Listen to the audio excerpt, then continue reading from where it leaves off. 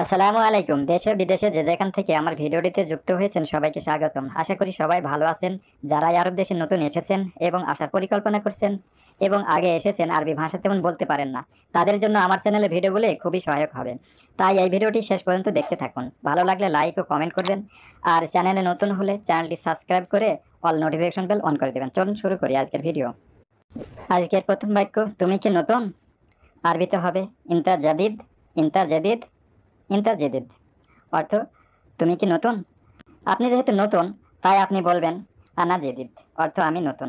আপনাকে দেখে বুঝতে পেরেছে, তাই আপনাকে জিজ্ঞাসা করছে, আপনি নতুন কিনা আনা অর্থ, আমি জেদিদ অর্থ নতুন। আপনি কি আরবি বোঝেন? আরবিতে বলবেন ইনতা ফাহান্ত আরবি ইনতা ফাহান্ত আরবি, ফাহান্ত অর্থ বুঝতে পারা। অথবা এভাবে বললে ভালো হয়, আপনি কি আরবি বলতে পারেন? এটা আরবিতে বলবেন, ইনতা তাতাকাল্লাম আরবি ইনতা তাতাকাল্লাম আরবি, ইনতা তাতাকাল্লাম আরবি। আতাকাল্লাম অর্থ আমি বলতে পারি, আর তাতাকাল্লাম অর্থ আপনি বলতে পারেন। আতাকাল্লাম আর তাতাকাল্লাম হচ্ছে আমার আর আপনাকে বোঝানোর জন্য এই শব্দ দুটোর মধ্যে পার্থক্য। আপনি যেহেতু নতুন, সেহেতু আপনি বোঝেন না, তাই আপনি বলতে পারেন, আমি আরবি বুঝি না। আনা মা ফাহান্ত আরবি, আনা মা ফাহান্ত আরবি অর্থ আমি আরবি বুঝি না। আনা আমি ফাহান্ত অর্থ বুঝতে পারা, আরবি অর্থ আরবি। অথবা এভাবে বললেও হয়, আনা মাফি মালুম আরবি অর্থ আমি জানি না বা বুঝি না, বা ধারণা নেই। আনা আমি মালুম অর্থ জানি বা বুঝি মাফি মালুম জানি না বা বুঝি না। তোমার কাজ আছে না কাজ নেই? এটা আরবিতে কীভাবে বলবেন? এরকম বাক্য অনেককেই বলতে শুনেছি, এভাবে বলে, ইনতা ফি সগোল, লা মাফি সগোল। ইনতা ফি সগোল, লা মাফি সগোল। কিন্তু সঠিক বাক্যটা হবে এভাবে, ইন্দাক সগোল অল্লালা। ইন্দাক সগোল অল্লালা অর্থ তোমার কাজ আছে না নেই। কিন্তু আগের বাক্য থেকে এই বাক্যটা অনেক ছোট এবং সহজ এবং এটাই সঠিক ও শুদ্ধ আঞ্চলিক আরবি। ইন্দাক সগল অল্লাহ লা। ইন্দাক সগল অল্লাহ লা। অর্থ, তোমার কাজ আছে না নেই। এরকম বাক্যগুলো এইভাবে আপনারা বাক্য গঠন করবেন। এই একটা বাক্য যদি আপনি মুখস্থ করে নেন, সকল এই ধরনের বাক্যগুলা সবগুলোই এইভাবে বলতে পারবেন। ইন্দাক সগল অল্লাহ লা। ইন্তা অর্থ তোমার, ফি অর্থ আছে সগল কাজ, লা অর্থ না, মাফি সগল কাজ নেই। যদি বলেন আমার কাজ নেই। কি বলবেন? আনা মাফি সুগল? আনা মাফি সুগল বললে সে আগের মতোই হয়ে গেল।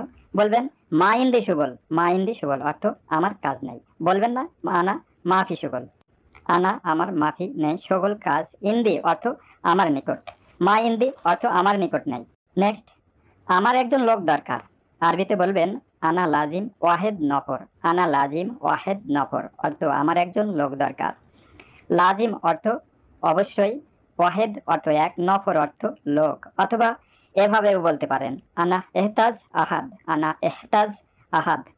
এহতাজ অর্থ প্রয়োজন আর আহাদ অর্থ একজন ব্যক্তি। আহাদ অর্থ একজন ব্যক্তি। আনা আমার লাজিম দরকার, ওয়াহেদ এক আর নফর লোক। নেক্সট, তোমার কাজ কি? আরবিতে বলবেন, শোনো সোগলাক শোনো সোগলাক শোনো সোগলাক সুগল অর্থ কাজ, শোনো অর্থ কি আর সুগলাক শেষে একটা কাজ যুক্ত হয়ে তোমার কাজ বোঝায়। অর্থ, তোমার কাজ কি? তুমি কি কাজ করবে? আপনি কোন ধরনের কাজ করবেন? সেই ধরনের কাজ আপনাকে জিজ্ঞাসা করছে। আপনি কোন ধরনের কাজ করবেন তা আপনাকে জিজ্ঞাসা করছেন। শোনো সগল, ইন্তা সাউই। শোনো সগল, ইন্তা সাউই, অর্থ আপনি কি কাজ করবেন? অথবা, ইন্তা এস সগল সাউই, অথবা ইন্তা এস সগল সাউই, অর্থ তুমি কি কাজ করবে? কি কাজ বলতে আপনার? ইলেকট্রিশিয়ান, অথবা দোকানের কাজ অথবা লোহা লাকড়ির কাজ, আপনি কোন ধরনের কাজ করবেন সেই প্রশ্ন করা হয়েছে। নেক্সট তুমি এখানে কাজ করবে কি? এটা আরবিতে হবে, ইনতা সাউই সগল হিনা, ইনতা সাউই সগল হিনা, তুমি এখানে কাজ করবে কি? ইনতা অর্থ তুমি, এস অর্থ কি, সগল অর্থ কাজ, সই অর্থ করা। আপনি করবেন কি করবেন না আপনার ব্যাপার, আপনি যদি করেন তাহলে বলবেন হ্যাঁ আমি কাজ করব। সেটা আরবিতে হবে আইয়ুয়া আনা সৌই সগল। আইয়ুয়া আনা সৌই সগল। হ্যাঁ আমি কাজ করব। আইয়া অর্থ হ্যাঁ আনা, আমি সৌই, করা সগল অর্থ কাজ। আপনি যেহেতু বলছেন কাজ করবেন, তাই আপনাকে বলছে, ঠিক আছে, তুমি আগামীকাল কাজে এসো। আরবিতে হবে, ইনতা বোকরা ইজি সগল। ইনতা বোকরা ইজি সগল। সাহ, ঠিক আছে? অথবা বলতে পারেন শেষে, তামাম, এভাবেও বলতে পারেন। ইনতা বোকরা ইজি সগল। তুমি আগামীকাল কাজে আসবে। শেষে বলবে সাহ অথবা তামাম। সাহ অর্থ? ঠিক আছে, আবার তামাম অর্থ? ঠিক আছে। মানে ঠিক আছে কি না? এরকম আপনাকে জবাব দিতে হবে। সাহ অথবা তামাম? ঠিক আছে? ইনতা, তুমি, বোকরা, আগামীকাল, ইজি অর্থ আশা সুগল অর্থ কাজ। সাহ অর্থ ঠিক আছে। আবার তামাম অর্থ ঠিক আছে? এভাবে আপনাকে প্রশ্ন করবে। তখন আপনি হয়তো বলবেন, ঠিক আছে বস, আমি আগামীকাল আসব। ঠিক আছে বস, আমি আগামীকাল আসব। এটা আরবিতে বলবেন, তামাম মুদির আনা বোকরা ইজি, অথবা বলবেন, মুদির আনা বোকরা ইজি, সাহ। অথবা, সাহ, মুদির আনা বোকরা ইজি। তামাম শব্দটা এখানে খুবই ভালো খাটে। বলবেন, তামাম। ঠিক আছে, মুদির আনা বোকরা ইজি। বস, আমি আগামীকাল আসব। তাহলে পুরো বাক্যটা এভাবে বলব, তামাম, মুদির আনা বোকরা ইজি। অর্থ আমি, বস, আমি আগামীকাল আসব। সা অর্থ ঠিক আছে, মুদির অর্থ বস, আনা অর্থ আমি, বোকরা অর্থ আগামীকাল ইজি অর্থ, আসা বা আসব। এটা যেহেতু ভার ইজি অর্থ আসা, বলতে পারেন আনা বাজি। বাজি যদি বলেন, তাহলে ভার্বের আগে যদি একটা বা যুক্ত করা হয়, তাহলে সেটা ভবিষ্যৎকাল হয় মানে আগামীকাল আসবেন। আর ভার্বের শেষে তা যুক্ত করলে সেটা হবে অতীতকাল। আনা জিত অর্থ আমি এসেছিলাম। ইজি অর্থ আসা। আর জিত অর্থ এসেছিলাম। বাজি অর্থ আসব। এখানে তাহলে ভার্বের তিনটা রূপই শিখে গেলেন। এভাবে কথা বললে অ্যারাবেনরা অনেক খুশি হয়। নেক্সট একটু পরে যাব। আরবিতে বলবেন, বাদ সোয়াই রহ, বাদ সোয়াই আনা রহ, অর্থ একটু পরে আমি যাব। বাদ সোয়াই অর্থ একটু পরে রহ, অর্থ যাওয়া। আমি এখনই যাব। এটা আরবিতে বলবেন, আনা রহ আল হেন, আনা রহ আল হেন, অর্থ আমি এখনই যাব। আনা আমি রহ, অর্থ যাওয়া, আল হেন, অর্থ এখনই। আমি কীভাবে যাব? বলবেন, আমি কীভাবে যাব? আরবিতে বলবেন, আনা কেফ রহ, আনা কেফ রহ, আনা কেফ রহ, আমি কীভাবে যাব? আনা আমি কেফ অর্থ কীভাবে রহ অর্থ যাওয়া। কীভাবে কাজটি করব? সেটা আপনার বসকে জিজ্ঞাসা করবেন। কোন নিয়মে বা কোন পদ্ধতিতে আপনি কাজটি করবেন? কেপ সৌই সগল কেপ সউই সগল অর্থ কীভাবে কাজটি করব? কেপ অর্থ কীভাবে সৌই করা সগল অর্থ কাজ। নেক্সট। সে কোথায় গিয়েছে? হুয়া ওয়েন রহ হুয়া ওয়েন রহ। সে কোথায় গিয়েছে? হুয়া সে ওয়েন অর্থ কোথায়? রহ অর্থ যাওয়া। তোমার কি লাগবে? আপনার বস যেহেতু শহরে বা বাজারে যাচ্ছে, আপনার কোনো কিছু কেনাকাটা বা কোনো কিছু লাগবে কিনা আপনাকে জিজ্ঞাসা করছে। তোমার কি লাগবে? আরবিতে বলবে, ইনতা এস আবগা ইনতা এস আবগা তোমার কি লাগবে বা প্রয়োজন? ইনতা অর্থ তোমার, এস অর্থ কি, আবগা অর্থ লাগবে।